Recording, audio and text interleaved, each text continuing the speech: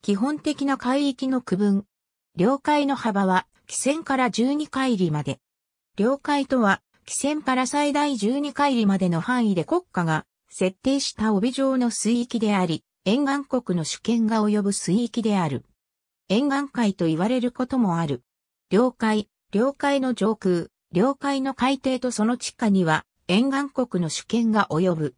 領土と領空とともに、国家領域の一つで、また領海に、内水、群島水域を合わせて、沿岸国の主権が及ぶ三種の海域のことを、領水と呼ぶ。ローマ法は、海は万民共有物であるとして、何人も海を所有することができないとした。中世に入り、ヨーロッパでは、海の秩序確保のために、沿岸国に警察権や裁判権を認めることもあったが、この時代には海そのものに対する国家の領有権は、ローマ法に基づき否定された。1493年、スペインとポルトガルは、トルデシアス条約を締結し、大西洋やインド洋への領有権を主張した。これに対し例えば、エリザベス一世は、海洋の自由を主張するなど、スペイン・ポルトガルの主張に対して、イギリスとオランダは反発し、1588年には、スペインの無敵艦隊を撃破して、両国の領有の主張を退けた。17世紀初めになると、イギリスとオランダは東インド会社を設立して広く海外交易を行った。17世紀前半には海洋論争と言われる学術的対立が繰り広げられた。例えばグロティウスは母国オランダを擁護する観点からオランダの通称を排除しようとするポルトガルに対抗し、自由回路を観光して何人も海を所有し得ないと主張した。グロティウスの主張によれば、海はその自然的性質から境界を確定することが困難であるため所有や領有の対象とはなり得ず、万民による利用のために解放されるべきという。この主張は、後の海洋の自由の原則形成に大きな影響を与えたが、当時は多く論者がグロティウスの主張にことを唱えた。その中でも代表的であったのがセルデンの閉鎖回論である。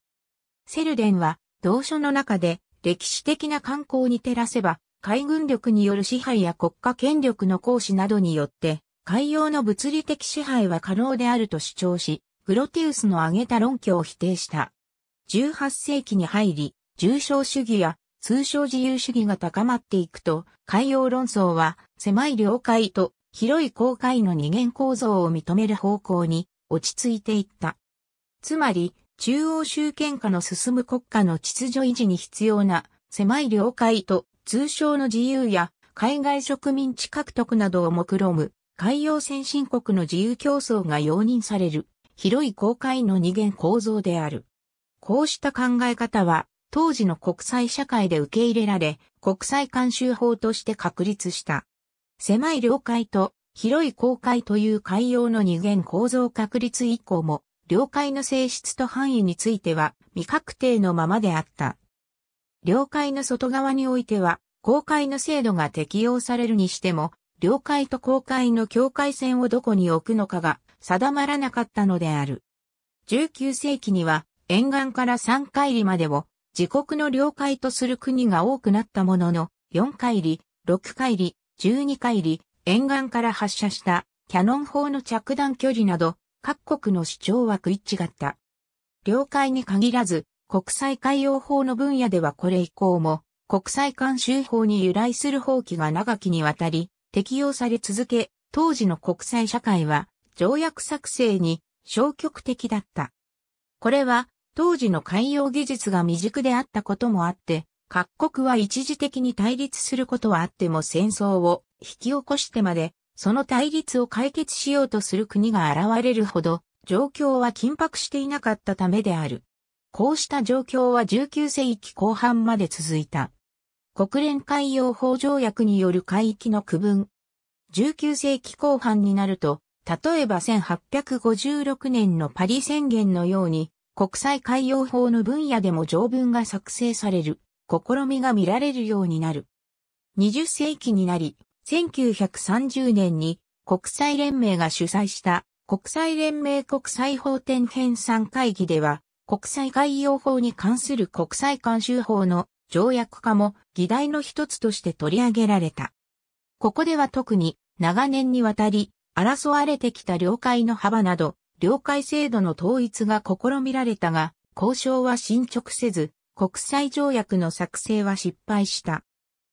第二次世界大戦後には、国際連合の下で、領海制度の国際条約化が進められたが、例えば1952年にチリエクアドルペルーは200海里の領海を独自に宣言し、1958年に開催された第一次国連海洋法会議では、領海の性質について定める領海条約が採択されたが、領海の幅については各国の主張は食い違ったため、同条約にもこの点に関する規定が設けられることはなかった。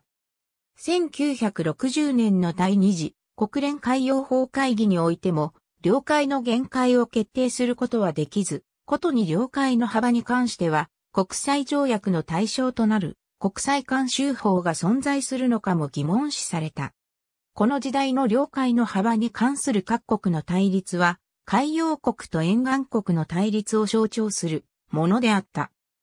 自国の海運、遠洋漁業の自由確保のためにかつて多数派の支持を得た三海里領海に固執する海洋国と自国領海に隣接する公海での漁業資源を他国から守るために、それまで公海と考えられていた海域に対する自国管轄権を要求する沿岸国との対立である。第二次国連海洋法会議では、アメリカ合衆国とカナダによる6海里の領海の外側に6海里の漁業先端水域を設定するという共同提案が否決されたが、1960年代にはこの方式を採用する国が増加した。1973年に始まった第3次国連海洋法会議では3海里の主張を維持する国は減少して12海里を主張する国が激増し、200海里領海という極端な主張をする国も増加した。このような対立の中で汽船から12海里までの領海と200海里までの排他的経済水域を認めるという妥協が成立した。つまり、沿岸国に対し天然資源の開発など、経済的目的に特化した権利を認めるけれども、他国に対しても、公海並みの船舶航行の自由や、航空機上空飛行の自由が認められる水域、として200海里までの排他的経済水域を認める代わりに領海の許容範囲を12海里までとしたのである。こうしてようやく12海里までという領海の限界線について各国は合意に至り国連海洋法条約第3条に明記されることとなった。ただし領海を含め国際海洋法の分野では条約化が進んだ今日でもなお国際慣習法の意義は失われていない。例えば領海が12海里までとの原則は、条約としては、上記のように国連海洋法条約に初めて規定されたが、この原則は第3次国連海洋法会議の審議を通じて国際慣習法化し、同条約を批准していない国をも拘束する。最も濃い青、フィリピンの群島水域。幅の狭い青、領海。濃い水色、排他的経済水域。黒海とマルマラ海を結ぶトルコのボスポラス海峡。汽船汽船は、領海、接続水域、排他的経済水域、大陸法の幅を測定するための起算点となる線のことであり、前述の通り現代において、領海とは、汽船から沖合に12海里までの範囲で、沿岸国が設定した水域を指し、群島汽船の場合を除いて汽船は、領海と内水との間の境界線となる。この汽船は、線の引き方に応じて、通常汽船、直線汽船、群島汽船に分けられる。通常汽船通常汽船は、大縮尺海図上の停止予線に沿って線を引く方式であり、この通常汽船方式が最も古くより採用されてきた汽船の引き方である。直線汽船直線汽船は海岸線が複雑な形状の場合に採用される方式であり、1951年にノルウェー漁業事件において国際司法裁判所がノルウェーの海岸線の特殊性に鑑み当国の直線汽船方式採用を認め、1958年に採択された領海条約第4条にも取り入れられた。変更通常汽船方式を採用していた国が直線汽船方式を採用する場合には、通常汽船では領海や排他的経済水域などとしてみなされていた海域が内水として扱われることになり、その内水部分においては領海においてと同じように他国の無害通行を認めなければならない。軍島汽船軍島汽船は多数の島で構成される国家の最も外側に位置する島々を直線汽船方式で結んだ線のことで、他方式の領海汽船と同じように領海などの幅を測定する起算点となるが、群島汽船は領海と群島水域との間の境界線となる。この群島水域は領海とほぼ同じ性質を持つ。港湾の不可分の一部を成している最も外側にある高級的な港湾工作物は条約上海岸とみなされるため、通常汽船はこの港湾工作物の外側に設定され、港湾の内側は内水となる。なお、港湾から離れた沖合にある施設や人工島などはここでいう港湾工作物には該当せず、それらが領海の汽船を変更することはない。積み込み、積み下ろし、闘病などに通常使用されている停泊地は、領海の外側限界線の外にあっても、領海とみなされる。ただし、そのような停泊地が、領海の規制を変更することはない。内水の場合と違い自国領海において、沿岸国は他国船舶の無害通行を受任しなければならない。領海条約1958年の領海及び接続水域に関する条約第14条第4項では、無害通行とは沿岸国の平和、秩序または安全を害しない航行と定義された。しかし、ここでは外国船舶の航行が沿岸国にとって無害かどうかを判断する基準は明確ではなかった。そのため、領海条約に従えば、例えば軍事演習、諜報活動、資源調査などといった具体的にどのような行為を領海において外国船舶が行うと無害ではないと判断されるかという行為を基準とした無害性の判断だけでなく、外国船舶が軍艦かどうかといった選手を基準とする判断が採用される余地があった。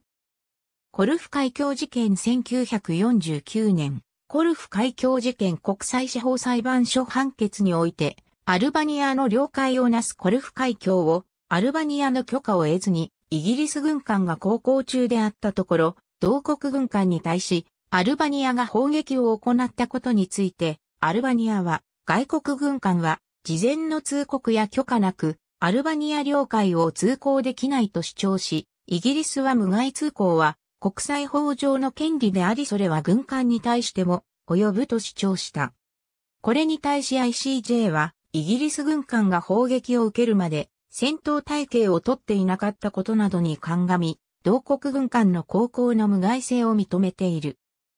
国連海洋法条約1982年の国連海洋法条約第19条第1項では、領海条約と同じようにどちらの立場も採用されない無害通行が規定されたが、同第19条第2項では無害ではない外国船舶の活動を具体的に列挙しており、広域準説により無害かどうかを判断する場合の具体的な基準を明らかにしたものと言える。日本のメディア一般的に、日本のメディアにおいては、他国船舶の無害通行ではない領海内通行を、領海侵犯と呼称しており、海上保安庁では、領海侵入等と呼称することもある。汽船から12海里以内であるならば国際海峡は、物理的には、沿岸国の領海の一部である。しかし国際航行の上での重要性から、国際法上国際海峡は、領海とは区別して扱われる。例えば国連海洋法条約第38条、第2項では、継続的かつ迅速な通過の目的のみのための通行及び上空飛行の自由として、国際海峡とその上空における外国船舶、航空機の通過通行権を認めた。この通過通行権は無害であることが、通行権可否の判断基準とされていないなど、通常の領海における無害通行権に比べ外国の通行権がより大きいものとして理解されている。またこうした国際海峡に関する国際法上の制度は一般的なものであり、例えばトルコのボスポラス海峡について独自の通行制度を定めた1936年のモントルー条約のように特定の条約によって特定の国際海峡の通行制度が定められている場合にはその条約による通行制度が優先される。領海条約第12条や国連海洋法条約第15条によると、複数の国々が同一の海域を隔てて向かい合っているか、または同一の海域に面して隣り合っているために、互いが主張する領海の範囲が重なる場合には、基本的に領海の境界線は、汽船上の最も近い点から遠距離にある中間線、いわゆる遠距離中間線によって決められる。ただしこれらの国々の間で歴史的に他の境界線が認められてきたなど、その他等距離中間線とは別の方式による領海境界確定の必要がある場合には、この限りではない。例えば、アルゼンチンとチリの間で、ビーグル海峡における両国領海の境界確定が問題となった1977年のビーグル海峡事件仲裁判決では、海岸の形状や航行などの利便性などといったことが判断材料とされた。もっとも、領海の幅が最大で12海里しかないこともあり、例えば汽船から最大で200海里まで認められる排他的経済水域などのように他国との間で領海の主張範囲が重なることは少なく、前期ビーグル海峡事件のように領海の境界確定が争われることは稀である。ありがとうございます。